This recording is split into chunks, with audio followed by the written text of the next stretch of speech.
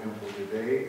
And after listening to it and praying upon it, I, I did agree to it. Amen. So if you'll say amen at this time as Brother David Arias come forward with the testimony that he has. Amen.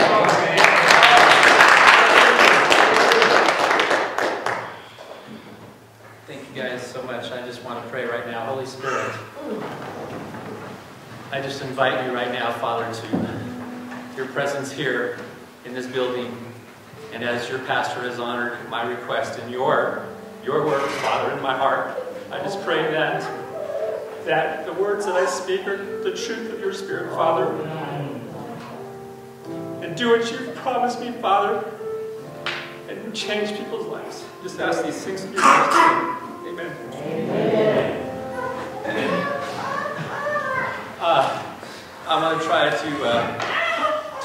Oh, thank you. I'm going to try to talk in three different uh, sections. So, part one would be my past, part two would be the conversion, and part three would be what God's doing with me right now. So, um, so he did he did mention the things that I don't like. So again, I was I was a Christian at 13, but before I was even a Christian, I was already well established in in sexual brokenness since four years old.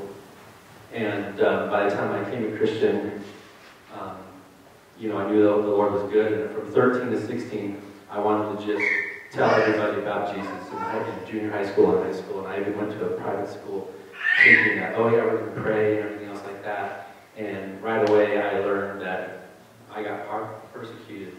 And as a young boy, I did not want to be, I actually got beat up and bullied in, in my um, private school because I was a Jesus freak. And uh, you're weird, you're talking to yourself. And, and so anyhow, um, I, at 16, I, I, I just shut my mouth.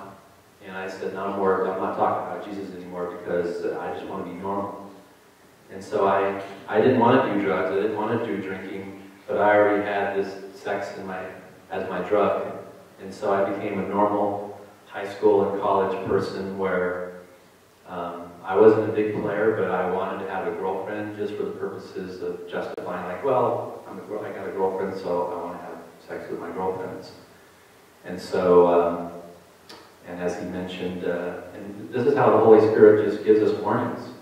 He gives us warnings because he wants us to turn towards him. That's right. And so I remember my dad had a heart attack at the same time as my girlfriend announced to me that she was pregnant.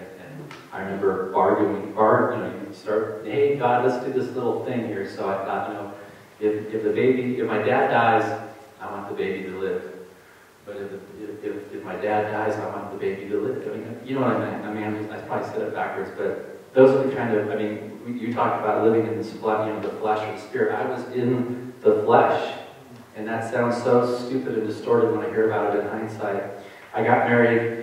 I told my ex-wife about my um, addiction, um, and she knew about it. We, we were engaged for a year and a half. We got married. We were married for 11 years. And here's what happens: is when when things start happening, and if you're not strongly rooted in Christ, then you start going back to the old way.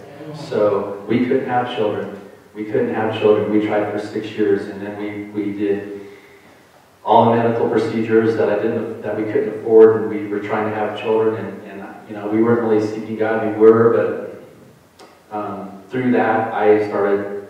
Um, I had my own business at that time, and, and she's quit. So then we had financial pain, pain, and then that was 2009, 2010, when everybody was going through a bunch of financial pain. And uh, I'm almost out of my three minutes. So now, through that, um, I went back to my addiction, and, and um, without going into specifics, the, the little thing when we were engaged, our pastor said, are you having sex? And we confessed to it, and they said, the little thing, he said, don't, you, you guys have to be pure while, while you're engaged. And the one thing that we did not hold in our engagement is the one thing that I did when I cheated. So, um, for two years, I, I tried to save my marriage. We tried to save my marriage, and that's when the Holy Spirit started to talk to me. That's when the Holy Spirit said, I want you to set the captives free. You're listening, your ears are muffled. You are not listening to me. You are not laying everything down. Um, and why are you wrestling with me? I have a great harvest for you, one that you cannot understand. Yes. And that was 10 years ago. So after my divorce, I gave up again. I said, forget it, I'm done. I lost my wife. I almost lost my business. Uh, we actually got naturally pregnant, and that was just kind of like the thing that just killed me because we went eight months and we announced to the church and we were all happy and we were already messed up. So, um, so for six years I to hear it all from the Holy Spirit because I had a new girlfriend, and of course I was doing the old day. So now here's the transformation. So hopefully that was only three minutes. we agreed, we were trying to, we started praying together. We'd already been going to church because you know we all know we can fake church. Okay, every one of us can fake church. We show up and you know I, I play drums in the worship team, and uh, I was very slow to pick that up again, but. Um, uh, we, we, my, my pastor, my church is very small. it's 250 people, so in our church, in our California, that's a smaller church, I think. But um, he asked, you know, we're going to have a ministry on, on financial peace. You know, Dave Ramsey, and he didn't have anybody to teach it, and I knew he didn't. And uh, I just said, you know, Pastor, after about three or four weeks of him announcing that we're going to start, we're going to start. He couldn't start because he didn't have anybody to lead it, and I had already done it when I was with my ex-wife, and that was the first step. That was where God said, ooh. And when I led that class, I knew that I needed to tithe. I had done it before, but I'd never done it consistently. I'd never done it month after month after month.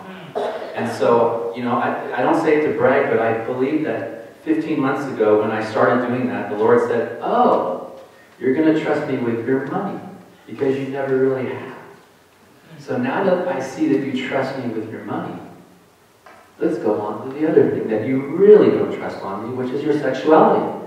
Because, of course, we all want great sexuality in our lives, but we do it wrong. We don't do what God's told us. God told us to do it in the covenant of marriage. In the covenant of marriage. So now here's the next part. As we were praying, my girlfriend and I were praying, and like, the Lord, show us. we knew we weren't going to get married because it just wasn't working. We knew it wasn't working after five and a half years. And, and she said, let's just start dating other people. And I said, great, that sounds great. And the Lord stopped me literally in five different situations with five different women, none of them which I had sex with, but he said, you are not going to date like this anymore. Uh-uh. You're not going to do this. And, and so much so that one date I had, I was in the hospital that night. I thought I was having a heart attack, and I had to cancel my date. So here's the thing that I really think, because everyone says, what changed, what changed, what changed? Because I've struggled with this all my life. I'm 51. I've struggled with this my entire life. I told my ex-girlfriend, when she told me she was going to go on a second date with a different person, I told her, you know what? I don't want to date you anymore. I want to, I want to talk about marriage, and I don't want to have sex again until we are married. Mm. And that's what I think and this is what I love here. There's the Lion of Judah is his YouTube channel that I love here. And there was a preacher that was talking that was kind of like saying, could you imagine God? God's got all his angels behind him, his legion of angels, right? And all of a sudden, Dave Barrios decides to take a prayer. And, and he wasn't talking about me, of course, he was talking about someone else. And, and it was like God was saying to all the angels, Did you just hear? Did you just hear what he prayed? Did you just hear what he asked? And I think that's when God said, That's what I want. You want marriage, and you want the covenant of marriage, and you want to wait till you get married? That's what I'm going to do for you. And I, my girlfriend and I, he's like took her away as far as from the east and the west. She got another boyfriend. And although we talked a few times, done. And, and through that, all I did is I got on my knees and I'm like, Lord, how am I going to do this? So I started fasting. And is it right? Is it right? I'm sorry. I did not know the scriptures. I did not know all the stories about David and Goliath. I didn't know about Abigail. I didn't know about Gomer. I did not know about Naaman. I didn't, I mean, I, you barely know these stories, and I'm like, well, how, how do I not know these stories after being in the Bible all these times? So now, last three minutes, sorry, Pastor, I hope I'm not going too long. The Holy Spirit has totally bombarded me with promises and His Word I, I probably heard from him five times in two years when I was going through my divorce trying to save my marriage. I have heard from him so many times. I have heard so many promises that it becomes overwhelming.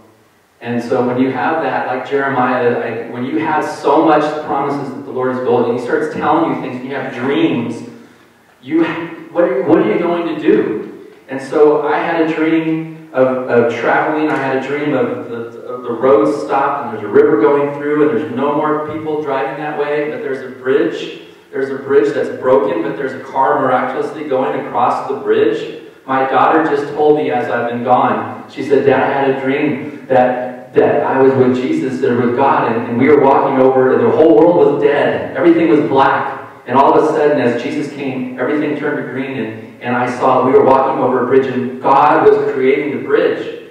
And as soon as we saw one person who had faith, who had no faith, the bridge started shaking, and, and it was like, you know, why do you not have faith? Why do you not have faith? And so, I'll end on this. I, I never, I never even knew of Cheyenne, Wyoming until two weeks ago. Mm. Okay, I'm from California, and I and I, I have to say I've traveled pretty well, thank God. But this is where the first two. This you are my third city.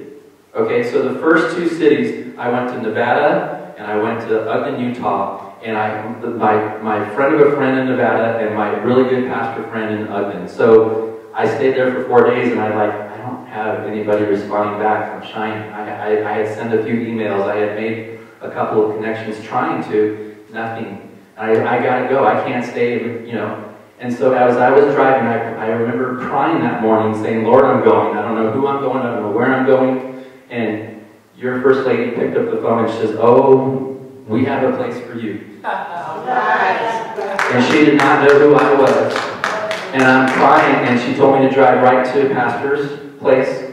And I spoke with him, and he, I don't know who you are, but in faith, he said, Let me put you up for a night. And, and so to me, that was an answer to prayer. And, and believe it or not, that night I actually spoke in front of a church. I don't know how I did. And you know, I'm way past my time. I just want to say the last thing that God told me when I'm doing this is He said, because I didn't do this in the first two cities, He said, You need to pray. You need to leave a breadcrumb of where you are leaving.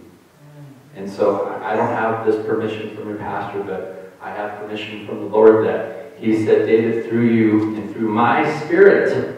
That's what he's done, right? He takes broken people, he equips the called, he doesn't, he doesn't call the equipped. So if any of you would like prayer, I'm supposed to do that. Can I do that for anyone right now?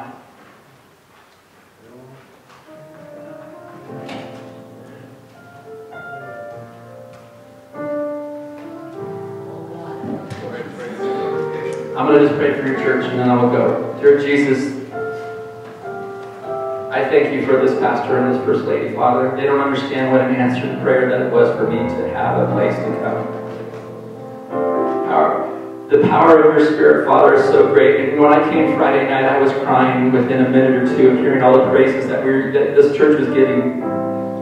And so, I, Father, I just ask that, that your Holy Spirit just bless this church for their faithfulness Bless their growth, Father. Allow them, allow them to reach people, Father, as you see fit.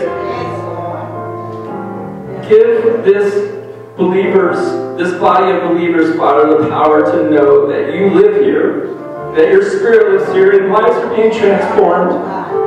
I thank you, Father. I thank you for all the things that you've done. How can we not be thankful, Father, for all the things that you do? I just, I'm done. Thank you guys. Amen.